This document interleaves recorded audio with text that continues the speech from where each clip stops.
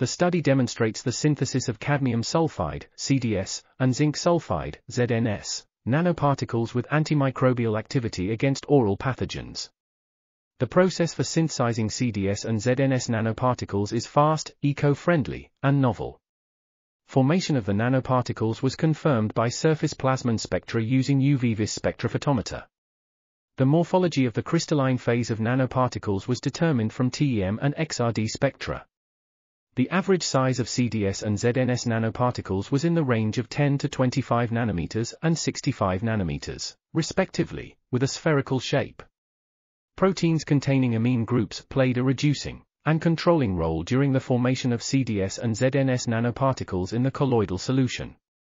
The sulfide nanoparticles exhibited good bactericidal activity against oral pathogens such as Streptococcus sp, Staphylococcus sp, Lactobacillus sp, and Candida albicans.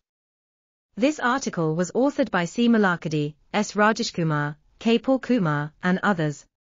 We are RTCL.TV, links in the description below.